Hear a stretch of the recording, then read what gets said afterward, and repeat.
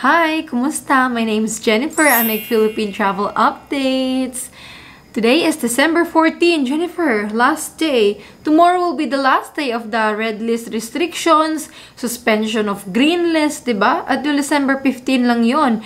Uh, is there an update on that? Not yet. But let's start this update with airport advisory. Clark International Airport po reminds international passengers, kayo po, that the ECIF is free of charge. Yung uh, ECIF po health declaration form are free of charge. We would like to request everyone to remain vigilant against unauthorized websites that ask for payments regarding ECIF registration. You don't have to pay po. Free po yan. Libre. So do not worry about this po. There are websites that will tell you Philippine Health Pass is 49 euros. What? This is scam. So don't fall into these traps po. The, the health declaration, the ECIF is on the One Health Pass. One Health Pass. That's, that's this is the everything po. Everything is in here. This is where you register and this is free. Let's be clear on that. Now, UK. Now, UK has been a hot topic for red listing. And again, it was brought to the attention of DOH. Would UK be included on red list? They have reported more than 3,000 cases of Omicron.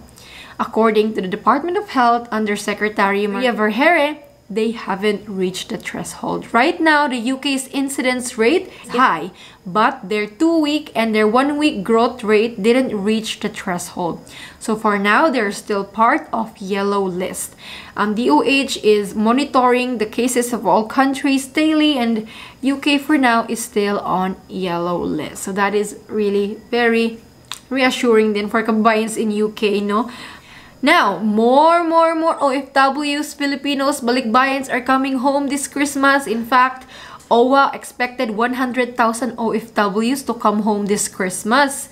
And the number of OFWs going home this Christmas does not much have difference from the pre-pandemic period now. It is no longer unusual for someone to go home just for vacation because economic life abroad has already resumed, you guys. Uh, you went back to normal like middle of this year or early this year. Philippines very different situation. We're just like going back to normal just towards end of this year. So medyo late po dito. Meanwhile OWWA Hans Cacdac assured that the government is prepared to welcome the returning OFWs are you really prepared? Because 'di ba? Um, things were going very well with a lot of countries, UAE, Saudi, Japan. You were on green list, you know, no more quarantine, and that improved the travel cap. No, it increased flight capacity. Pero since green list has been suspended, travel cap issues is back. You know, we have kababayans whose flight were cancelled. Others were already at the airport and they were told that sorry, your flight is cancelled. Uh, one subscriber shared that he boarded a flight and then some OFWs hindi nakasakay. So these things happen because, yep, travel cap is an issue again because everybody needs to quarantine. And speaking of quarantine, where is this IATF announcement? Nothing yet. As of speaking, this is 10 oh, 10.50 p.m. Wala pa po. Wala pa ang announcement. So maybe there may be big chances. Why is the announcement so late? Are there big changes? Who knows? But here here guys here here. They had their meeting this afternoon. I, I, I wouldn't believe they're still having their meetings until now. This was like seven hours ago. But OWWA OWWA admits quarantine hotels for filipino workers are now at critical levels. Punuan na guys. In an interview with OWWA chief Hans Cacdac the number of arriving OFWs returning to the country is averaging 3,000 daily malapit na tayong mag-reach na mag 14 to 15,000 daily arrivals. That's why they are looking for quarantine facilities already outside of National Capital Region. So for our dear OFWs, don't be surprised po kung mapunta kayo sa ibang region sa Calabarzon kasi yan punuan na po sa NCR. So far, currently there are 12,000 OFWs staying in quarantine hotels in Metro Manila. Out of the 200, 12,500. Napakadami. So, another suggestion din namin sa um, government po, bakit pa po pinaghihiwalay ang OFW? Kung mag-asawa, isama na po. Kung magkapatid, kasamang nag-travel, kasama sa bahay, isama na yan sa isang hotel room sana. Wala namang sense na ihiwalay pa. Pag-sign na lang po ng waiver. Sana ganun na lang po. But anyways, again, they're covering other areas po, Region 4A, because nga um, it's it's fully booked na. Even if they cover five-star hotels, um, budget hotels, hindi pa rin kasha. It's not enough. Maybe delays po in the swab testing result kasi nga punuan po, very busy. The government, in fact, it's and it's not just a quarantine facility issue, no? But it's also money. Government is spending more than 30 million pesos per day. Per day para sa quarantine ng OFWs. That's a lot of money.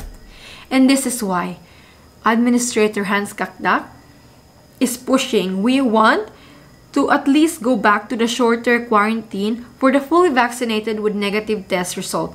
Tomorrow, December 14, today, we will have a meeting with the IATF and we will push that. Isusulong namin yung shorter quarantine. Good job, sir. Please push that. Maybe that's what's keeping their meeting so long, but the decision, we're waiting for it. The announcement, we're waiting for it. But thank you, sir. Let's hope the IATF would listen. Because other countries na nga are loosening up because Omicron apparently um, won't give you severe, no, but it's more transmissible. So yan yung issue. The important thing is to get vaccinated. And the Philippines will have their vaccination days again think tomorrow, yes, tomorrow po. So, sa mga hindi pa po nababakunahan sa Pilipinas, magpa-vaccinate na po tayo. While on areas po na apektado ng tropical depression, yes po, for those who will be um, dadaanan ng bagyo po, please be safe po. Let's listen to the government announcements po. If there are any announcement on evacuation, let's listen po. Um, yes, be safe po tayo. Well, let's talk about flight advisory for the month of December in Cebu po. Cathay Pacific, yan Hong Kong to Cebu, Cebu to Hong Kong, 4 times weekly. And then yung papunta ng Hong Kong, 1 times lang. And Qatar Airways, wow, Doha to Cebu, Cebu to Doha, 11 times weekly na po. Napakadaming flights ng Qatar. I've been hearing issues of kababayans also in Cebu na delay yung mga uh, swab results just a suggestion to the Cebu airport po, sana po please remove the the test upon arrival at the airport. Kasi our travelers already have a negative test result tapos isa-swab na naman sa hotel. Parang redundant na po yung swab sa airport. Baka it's, it's just baka it's contributing sa mga delays. So siguro sapat tanggalin na lang po kasi hindi naman makakalabas yung kababayan natin with that result Anyways, going back, there's also Scoot Airlines four times weekly. Tuesday, Thursday, Friday, and Sunday. In Jeju Air, December 17 only. In Jin Air, December 22. There's also Philippine Airlines for those who want, who want to land in Cebu, coming from the US. Yan, there's LA to Cebu, Cebu to LA, two times weekly every Thursday and Saturday. So if you want to land in Cebu, then you must book within these scheduled dates. And then San Francisco to Cebu as well. And then there's Cebu to San Francisco via Manila. Yan. And then Narita to Cebu one times weekly. So that's Cebu. Well, this is the vaccination status in the Philippines. Wow, guys, 54.9 million Filipinos received their first dose, while 37.8 million are fully vaccinated. Bumabaha po tayo ng vaccine. Actually, uh, the Philippines has so many vaccines na available. So, uh, supply is not an issue anymore. So, get vaccinated po. Let's get vaccinated. Let's protect ourselves and our family. No? And then, we have booster shots. Yan, if naglapse na po ng 6 months, get your booster shots. 809,000 have received booster shots. I will be among that number very soon. I'm gonna have my vaccine together with my mom. Finally, after many months, she will be vaccinated soon. While since the Philippines po is becoming a low-risk country, Germany will remove us in their high-risk list. So good news for our kababayans in Germany. Philippines will be removed from their high-risk list along with Romania, Iran, and Armenia and Mongolia. So travelers from the Philippines will soon, if you're fully vaccinated or you have recently recovered from COVID, you will no longer have to register your entry before traveling to Germany. Moreover, travelers from the Philippines will also be released from this quarantine requirement. Yay! Good job! Good job, tanggal tayo sa red list ng Germany. This is good news for kababayans in Germany. So this is all right now, guys. When um, if they um, give us the update for the December 16 to 30 rules and red listing, I will give it to you. But for now, this is all. I'm also waiting po. So as soon as we found out, I'll let you know. But this is all for today po. As of December 14, 11 o'clock p.m.